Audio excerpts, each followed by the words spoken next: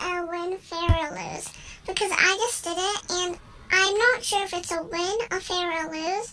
I personally think win because I, I really want to pair it.